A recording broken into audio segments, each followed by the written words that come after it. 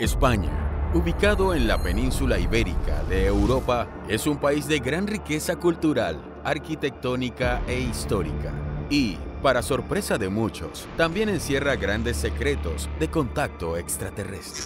Hoy veremos desde el encuentro con un humanoide en Garganta de la Olla hasta la persecución de un ovni a un avión comercial.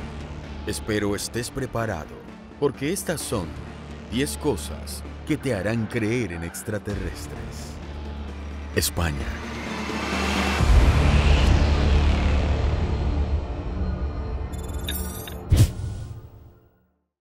Número 1. La estela del Cazar. ¿Un extraterrestre tallado en piedra? Comenzamos con una misteriosa escultura hallada en la comunidad de Extremadura.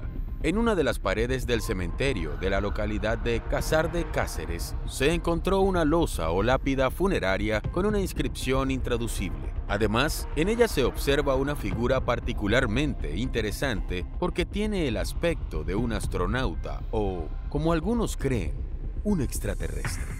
Con más de 2000 años de antigüedad, la figura en relieve de la estela del Casar es una lápida de granito de 48 centímetros de altura por 17 de ancho y 1,12 de grosor en la que aparece tallada una figura de aspecto humanoide con cierta desproporción entre las partes de su fisionomía, un ser de cabeza ovalada, enorme, de ojos achinados y que mantiene una desconcertante sonrisa. Ahora permanece en el Museo Arqueológico Provincial de Cáceres, esperando que alguien pueda develar el misterio que hay detrás de esta extraña talla.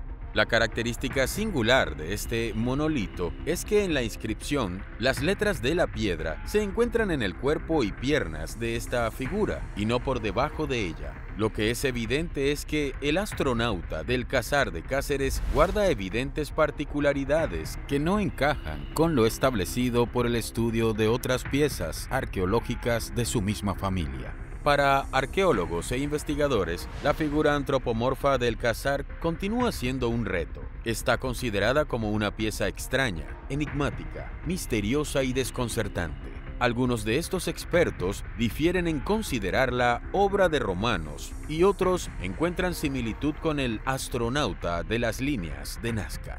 Se ha sugerido que la imagen es la de un guerrero céltico, realizada en el siglo II o I a.C., ya que la inscripción en letras latinas sugiere que fue escrita durante la época romana o poco antes de la ocupación romana de Iberia. Sin embargo, aunque la inscripción está escrita en alfabeto latino, parece estar escrita en un idioma desconocido. Hasta la fecha, hoy en día no hay estudios que puedan descifrar estas siglas de la misteriosa figura.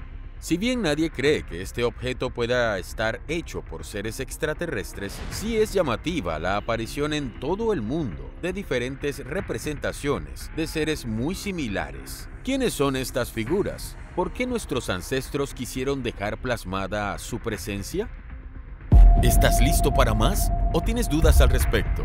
Conversa personalmente con nosotros por nuestro canal de Telegram. Estaremos muy activos ahí. Aparte de ello, se vienen los videos en vivo. Síguenos en Twitch y nuestras redes sociales, Twitter, Instagram y Facebook como G-Stage. Prepárate para estar conectado con nuevos documentales y nuevas secciones a solo un clic. Te esperamos. Número 2. OVNIs en el siglo XVIII. El primer caso OVNI registrado en España. Uno de los primeros registros de actividad ovni en España data en el siglo XVIII. Lo más interesante es que se dio mucho tiempo antes de que cualquier nave voladora surcara los cielos, por lo que muchos investigadores consideran que estos testimonios son por demás valiosos, ya que no hay lugar a confusión, ni con un avión, ni con un satélite o cualquier otro objeto. Además, los primeros globos aerostáticos aparecieron en escena algunos años después. Este hecho se dio en la Calahorra, al norte de la provincia de Granada, en 1768. Allí, los habitantes de este pueblo observaron un misterioso objeto volador en el cielo. Este era transparente, con forma de botella, dejando a su camino una estela de humo espeso haciendo un estruendo como el de un trueno. Las personas no entendían de qué se trataba este fenómeno, no solo por el escalofriante sonido, sino porque el extraño suceso hizo temblar las viviendas del lugar. Uno de los testigos de este evento dejó plasmado lo observado. Este testimonio se encuentra actualmente en el archivo histórico del país. Según el autor, aquel objeto luminoso fue visto en pequeños territorios cercanos. El documento escrito a mano en un castellano antiguo fue descubierto en 2005 por los investigadores Francisco Javier Escudero y Vicente Morales Becerra, y deja más dudas que certezas. ¿Qué vieron los pobladores esa mañana? La caída de un bólido que al acercarse a la atmósfera explotó, de ahí el sonido de los fragmentos en llamas. ¿O qué es lo que realmente observaron los testigos que hasta el día de hoy no existe ninguna explicación? ¿Tal vez un ovni? Muchos afirman que este es el primer avistamiento ovni de la historia española, o al menos el primero en quedar registrado. Número 3. Misterioso ataque en Burgos. Siguiendo el recorrido de la presencia de ovnis en España en la antigüedad, otro hecho muy notorio fue lo ocurrido en la región de Burgos, específicamente en la ciudad de Quintana de Pidio, donde una misteriosa nube gigante causó temor en la población y la noticia fue registrada por los medios de la época. Esta nube lanzaba humo y llamaradas de fuego y eran tan potentes que según los testimonios de las personas llegaron a quemar huertas y viñedos de la zona. Con los conocimientos de la actualidad, podríamos pensar, como en el caso anterior, que ésta se tratase de algún fenómeno atmosférico o meteorológico. Sin embargo, un párroco afirmó que los gases que despedía este objeto eran tan dañinos que el ganado no quiso comer la hierba del área por donde pasó la nube. ¿Qué era ese objeto volador que impulsaba fuego? Si bien para el año 1800 el conocimiento de la época permitía diferenciar el evento de un fenómeno meteorológico, la cantidad de testimonios de testigos descartaron esa posibilidad. A pesar de los graves daños que causó en la comunidad, aquel objeto volador no identificado fue dejado en el olvido sin estudiar su procedencia y sin lograr entender qué había sucedido en esa comunidad hasta que en 1902 un hecho similar ocurrió en Guadalcanal, Sevilla. Un objeto de similares características se acercó a la superficie y provocó daños. En el caso de que se hubiera tratado de la caída de un meteorito, se hubieran encontrado sus restos o bien un cráter, pero al parecer nada de esto ocurrió. Estos eventos similares nos hacen preguntarnos, ¿serán los mismos seres que visitan la Tierra cada cierto tiempo? La provincia de Burgos ha sido escenario de varios avistamientos más a lo largo de la historia. Con la desclasificación de archivos secretos, se supo de algunos de los más importantes, como el de 1970 y 1975. En resumen, los testigos de estos avistamientos eran soldados que tuvieron un encuentro con una luz intensa de color blanco con un tono amarillento, con una proporción de 2 a 3 metros de alto y ancho, que caía hacia el suelo. En ningún momento pudieron apreciar su forma, solamente el resplandor. No se tomaron fotografías ni se hizo dibujo alguno. Con posterioridad, ya en declaración, los testigos pudieron realizar unos gráficos. En algunas de las declaraciones, aparentemente el extraño objeto tendría la forma similar de una campana o un globo. Pues Manuel Agüera explicó otra vez, mirad, mirad. Paró el coche y bajamos, salimos todos, nos, llamaron a nosotros los de atrás, salimos y observamos hay unas luces, unas luces que en perspectivas, una era una, primero solo era, una. Pero muy cerca del suelo incluso, ¿no? Pues estaba, más bien se posó en el suelo se posó en el suelo, se apagó de momento y a continuación se encendieron cuatro seguidas a esas. Eh, lo que a mí la vista me alcanza de descifrar, yo no puedo decir era, no sé, una persona o era esto, era como un tronco de cono, con un chorro de luz que en un principio era amarillenta, no era muy fuerte. Seguidamente salió más chorros de luz muy fuerte que, bueno, pues ya no podías descifrar mucho lo que era. ¿Será que esta zona es una de las denominadas calientes? ¿A qué se debe tanta actividad ovni? Número 4. Encuentro en Páramo de Masa. Al parecer, los eventos anómalos de los años 70 y 75 fueron la antesala a lo que seguiría ocurriendo durante esta famosa oleada de avistamientos extraños. Una familia de Montorio, ciudad perteneciente a la provincia de Burgos, fue testigo de algo insólito en Páramo de Masa, una comarca. En una madrugada del año 1977, mientras viajaban en automóvil por carretera, cuando de pronto apreciaron algo que los dejó atónitos. Se trataba de un ovni. Esa bola de luz, de golpe y porrazo, se nos vino encima, relató uno de los testigos. Fue una sensación como de que aplastara la tierra, relató otro. Eran las 2 de la mañana cuando esta familia, que iba de cacería, vio a la altura del páramo de masa una especie de luz que brillaba en el cielo estrellado. Algunos de ellos creían que se trataba de la luna, pero quedaron asombrados al ver que el satélite se encontraba a sus espaldas y esta enorme esfera brillante flotaba sobre uno de los pinos delante de ellos. Se quedaron pasmados mirando este enorme orbe hasta que esta esfera comenzó a acercarse peligrosamente a ellos. Claramente no era nada conocido y su tamaño era gigantesco. Los hombres contemplaron el extraño suceso hasta que la luz se apagó y desapareció. Apenas consiguieron moverse, volvieron a sus casas. Allí, sus familias notaron que los hombres habían sufrido un gran trauma. La percepción del tiempo transcurrido variaba entre ellos. Sabían que había pasado un tiempo considerable, pero no sabían a ciencia cierta cuánto. Este caso fue muy conocido dentro de la ufología española. Muchos investigadores reconocidos concurrieron a la zona, considerada caliente debido a la cantidad de avistamientos, para dar con los testimonios de la familia. Los perros mm, daba la sensación, porque yo estaba atrás con los perros, como si les hubieran dado una paliza ¿eh? Los perros se quedaban eh, temorizados, eh, se metían por entre los pies, estaban totalmente asustados.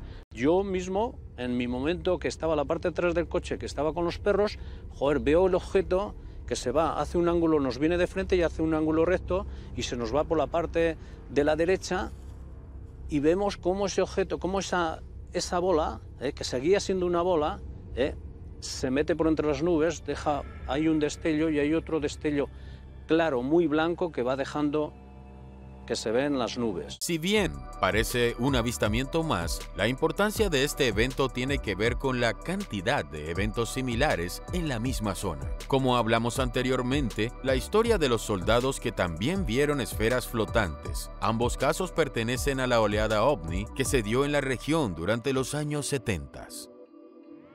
Número 5. El humanoide de Garganta de la Olla. La gente de la comarca de La Vera, en Garganta la Olla, Cáceres, fueron testigos en los últimos años de una serie de fenómenos inexplicables que los llenaron de inquietud y temor. Luces surcando los cielos era algo de todos los días, pero fueron las experiencias de dos pastores, Teodosio Gómez y José Pancho Campo, las más sorprendentes. El primero de ellos aseguró haberse topado con un gigantesco ser cubierto de ropas oscuras en un solitario paraje conocido como La Tortosa. El presunto humanoide avanzaba y se detenía al mismo tiempo que el testigo, actitud que provocó pánico al campesino, que finalmente optó por huir hacia el pueblo para contar su tenebrosa experiencia y alertar a sus vecinos. La extraña figura con apariencia de mujer medía un poco más de dos metros de altura. Días después, José Pancho Campo se topó con un ser muy similar en la entrada de un cobertizo en los montes cercanos al pueblo. Una tormenta hizo que José pase la noche allí, cuando de pronto una especie de murmullo que provenía de las afueras de la casa llamó su atención. Al abrir la puerta a varios metros de él, en mitad de la oscuridad, observó lo que parecía ser un grupo de monjas que murmuraban, rezaban o se lamentaban del frío. De repente, una de las religiosas se acercó a la puerta donde se encontraba José y entró en la casa sin decir una sola palabra.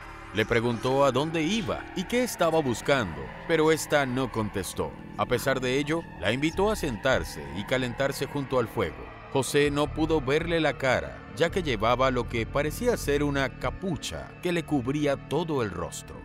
Tras observar durante unos instantes a la extraña figura, comprobó que ésta tenía unas extremidades parecidas a las patas de una cabra. El hombre se asustó de tal manera que comenzó a gritar hasta que la extraña mujer huyó del lugar con gran rapidez.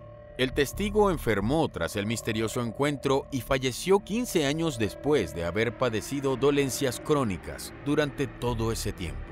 Otros vecinos de la localidad, como Francisca Gómez, aseguraron haber visto también en aquella época luces esféricas en el cielo. El pueblo afirma que José Campo falleció a causa del encuentro con el extraño ser. ¿Se trató de un extraterrestre o era algo más? Número 6. La piedra de San Martín. Esto sucedió en Madrid un 17 de noviembre de 1954, a las 4 de la madrugada.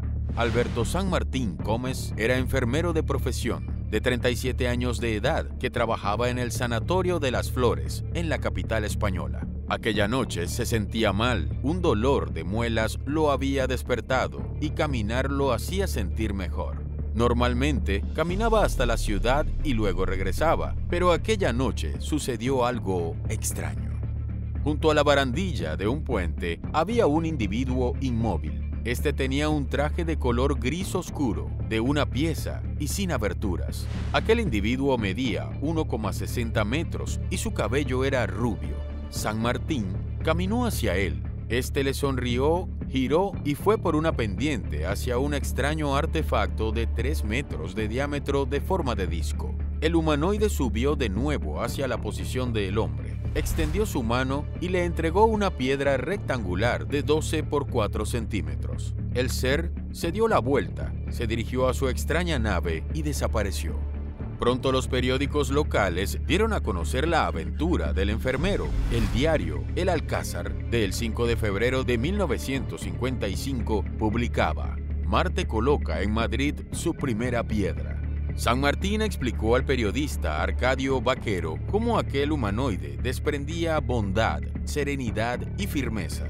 La piedra fue mandada a analizar. En su superficie mostraba unos símbolos extraños. Era de color rosa, porosa y fue entregada al profesor de la Universidad de Madrid, Pedro Bayón, quien envió los primeros resultados. Piedra de carbonato cálcico teñida por un producto similar al permagnato potásico.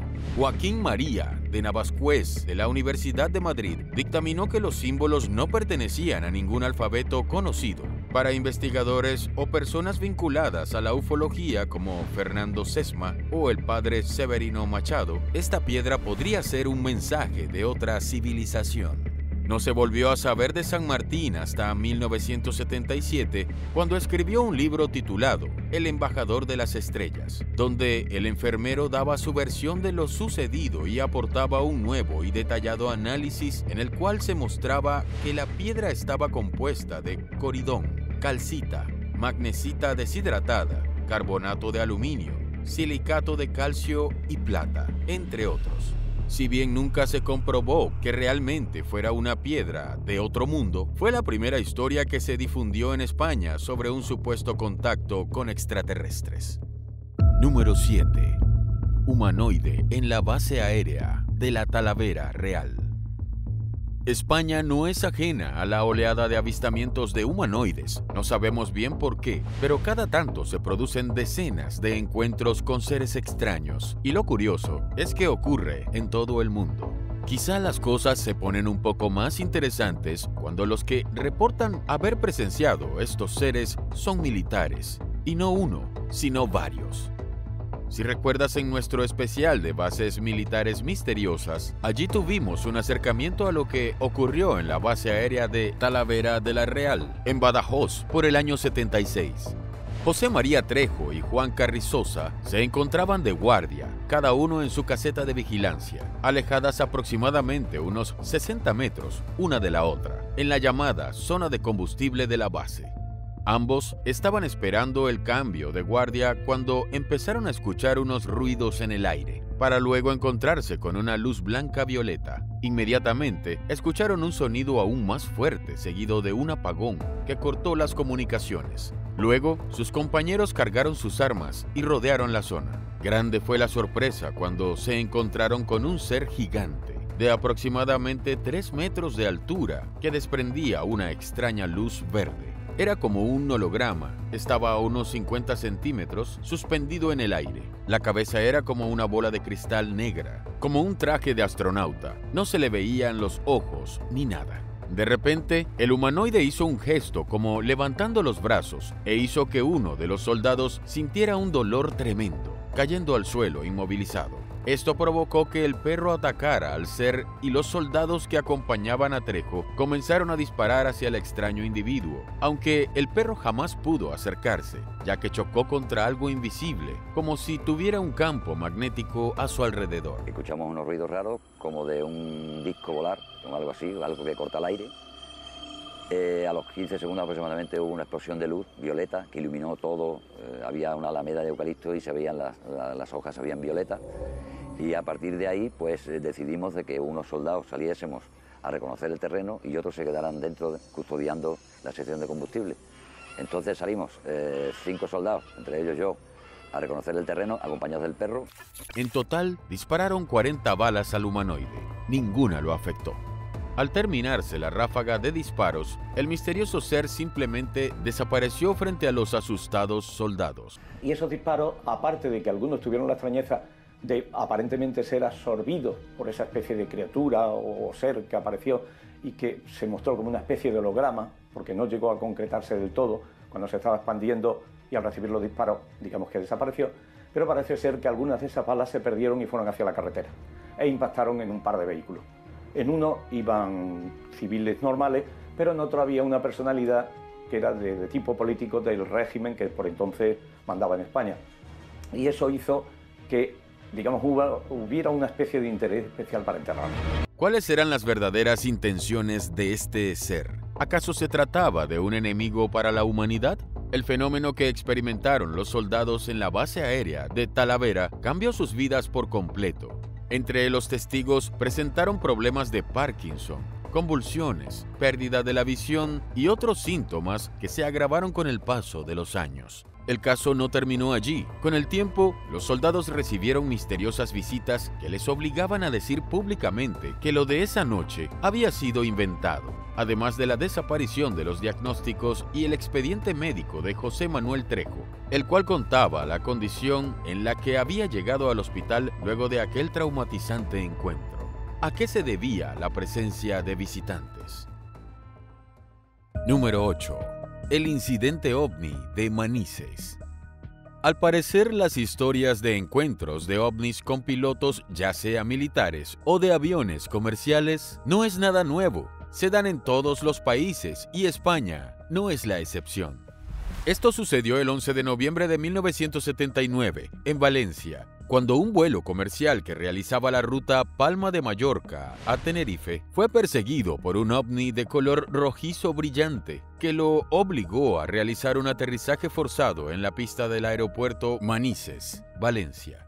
Javier Lerdo bajó muy afectado y eh, me cuenta que bueno pues que había tenido una cuasi colisión con un objeto que no podía identificar, que no era un avión y que no podía identificar. Unas luces que se le habían cruzado por delante, le habían incluso, mm, en términos que hablamos nosotros, le ha dado un repaso. Se me ha dado un repaso de abajo para arriba, de la derecha a izquierda, y, ante el, el desconocimiento de lo que era aquello y el peligro que pudiera significar, pues tomó tierra con muy buen criterio, decidió tomar tierra aquí en Valencia. El piloto a cargo de la nave era Francisco Javier Lerdo, de Tejada, un hombre experimentado que sabía perfectamente cuándo era necesario un aterrizaje de emergencia. El vuelo nocturno inició su ascenso con normalidad y durante su tránsito comentó haber visto un objeto extraño que no estaba registrado en el tráfico aéreo. La proximidad de la nave no identificada hizo que la cabina del piloto se cubriera de luz roja reflejada por el objeto. Pero, ¿cuáles eran las intenciones de las misteriosas luces? Todo indicaba que era una colisión inminente, por lo que Lerdo de Tejada realizó maniobras evasivas durante unos minutos sin lograr resultados positivos, ya que el ovni se movía con una velocidad increíble. Es que las luces, estas famosas luces, pues al principio estaban lejanas y por la izquierda y debajo, ¿no? A una altura distinta a la nuestra y parecía que volaban en formación junto a nosotros. ¿no? Parecía que estaban como jugando con nosotros, ya fue cuando ahí a partir de ese movimientos cercanos a nosotros por delante y por detrás fue lo que nos asustó. Fue entonces cuando solicitó permiso para aterrizar de emergencia para así librarse de la persecución del ovni. Posteriormente a su aterrizaje, la torre de control envió un avión caza Mirage F-1, piloteado por el capitán Fernando Cámara, quien tenía como misión descubrir el origen y procedencia de las luces misteriosas. Lo que encontró a más de 20.000 metros de altura lo sorprendió más de lo que jamás habría imaginado. Al localizar el ovni, solo logró identificar una de las luces rojas y declaró que cambiaba los colores entre azul y amarillo, además de encender la alerta de amenazas e interferencias radiales. El caso Manises causó un gran revuelo mediático y hasta político, pero a pesar de su gran cobertura, nadie ha podido explicar qué era aquel objeto que surcaba los cielos, a punto de colisionar con un avión comercial. Don Miguel, ¿qué cargo desempeñaba usted en el mes de noviembre del año 1979? Director del aeropuerto de Valencia. Por lo tanto, podemos decir que era usted la máxima autoridad civil del aeropuerto. Sí, sí. ¿Qué se le pasa a usted por la cabeza cuando de repente le comunican que hay un avión con 100 pasajeros a bordo que se ve obligado a aterrizar en el aeropuerto que usted dirige porque le están persiguiendo unos ovnis? ¿Qué se le pasa a usted en ese momento por la cabeza?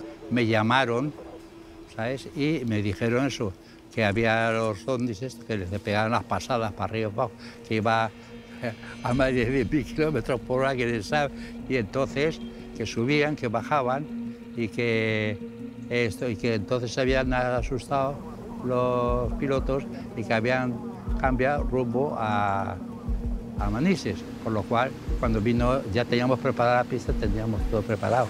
Lo que tenía que hacer era dejar la pista limpia para aterrizar el avión. ¿Representan una amenaza estos objetos? Es una de las proposiciones que investigan los departamentos de inteligencia, especialmente el de los Estados Unidos. Recordemos que los encuentros de los objetos voladores no identificados con pilotos militares o bien miembros de la Marina han provocado que los gobiernos intenten salir a explicar la naturaleza de estos objetos, que a menudo violan los espacios aéreos de los distintos países.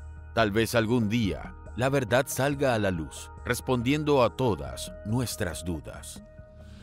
Número 9. Ochate, base extraterrestre. Hasta ahora hemos recorrido documentos antiguos y avistamientos masivos que no dejan lugar a duda. Sin embargo, esto nos hace plantearnos de que quizás nos estemos perdiendo de eventos ufológicos que están sucediendo en lugares desconocidos o poco habitables. Y desafortunadamente no tenemos acceso a esa información. Una zona deshabitada de España, al parecer, podría ser sede de una base intraterrena. En el pueblo de Ochate, en el condado de Treviño, Burgos, se cree que existe una entrada o portal energético, no solo por los reportes de avistamientos de luces extrañas, sino también de todo tipo de sucesos sobrenaturales. Incluso son frecuentes las fallas de los aparatos electrónicos y las baterías se agotan fácilmente. Una serie de misterios nunca resueltos que provocan que cada año cientos de personas se acerquen al que muchos han bautizado como el pueblo maldito.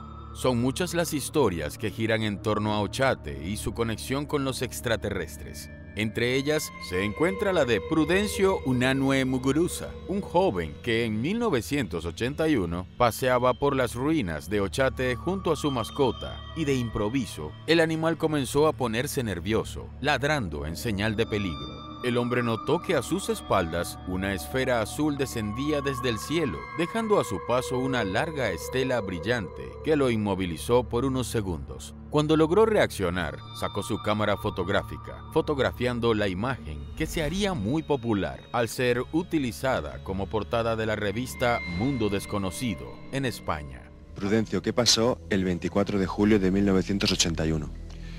Bueno, pues mira, justo al otro lado de, este, de, estas ruinas, de este poblado, conocido como el pueblo maldito de, de, Ochate, y dando un paseo por el monte, y entonces fue cuando se, de repente se produjo un fogonazo, se iluminó todo y encima mío tenía pues, eh, pues esta nave, esta esfera enorme. En ese momento recuerdo que hice la foto y perdí totalmente la noción del tiempo. Primero, una especie de zumbido, además muy extraño, no tipo zumbido como puedes oír aquí, era algo muy, muy extraño. ¿La NASA qué explicación te dio? Bueno, la NASA la explicación que dieron, primero que era una fotografía auténtica, o sea que no hay ningún montaje ni ningún trucaje, que realmente lo que te decía de lo de las estrías, que corresponde que tuvo que dar un frenazo impresionante, porque se ve aquí si ves la esfera anteriormente, o sea, como si hubiese sido, como si hubiese sido en dos tiempos, ¿eh? o sea, primero y luego ya quedó ahí totalmente estática. A partir de entonces, Muguruza desarrolló un gran interés por las ruinas y a lo largo de los años ha descubierto misterios como la excesiva cantidad de plantas venenosas en el lugar y unas enigmáticas tumbas alrededor de las ruinas, tan pequeñas que parecen que seres diminutos hubiesen sido enterrados allí. Tenemos hasta fotos, tumbas antropomórficas, es decir, cavadas en la piedra, en la propia piedra, Del siglo IX, siglo X, cuando quizá no hay documentos, las primeras pestes se centran también, como si fuera de verdad una especie de maldición, en ese lugar. Supuestamente, según los últimos estudios, esas tumbas de niños o de gente extraordinariamente pequeña rodeaba todo el pueblo y esa torre que queda será una especie de centro, de pináculo, de lugar estratégico.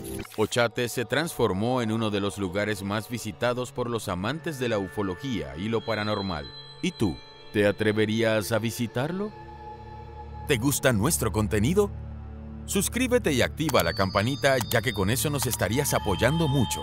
Y si los videos de la semana te quedan corto y quieres ver más, puedes unirte a nosotros y ser un investigador GS. Escoge tu método de pago y estarás apoyando al proyecto mientras accedes a contenido exclusivo solo para miembros, además de contar con muchos beneficios más.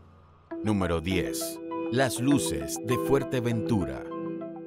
Las extensas llanuras de Fuerteventura esconden multitud de secretos, historias transmitidas de padres a hijos, e incluso algunos visitantes aportan las suyas propias. Este extraño fenómeno lumínico, que en Fuerteventura se conoce como la luz de Mafasca o la luz del carnero, se repite en otras zonas del archipiélago. Gran Canaria, La Palma, Tenerife o La Gomera tienen registro de este tipo de manifestaciones.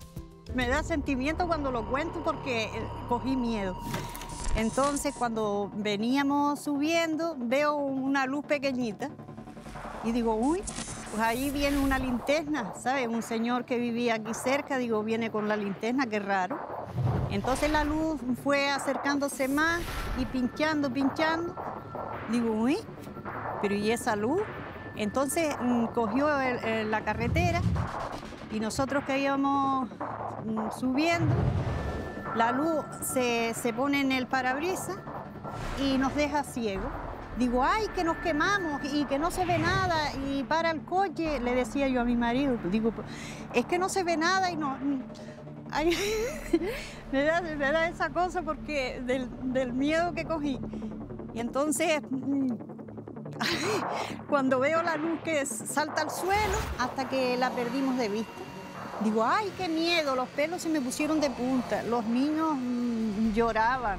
No es lo mismo contarlo que, que pasarlo, porque es una cosa tan desagradable.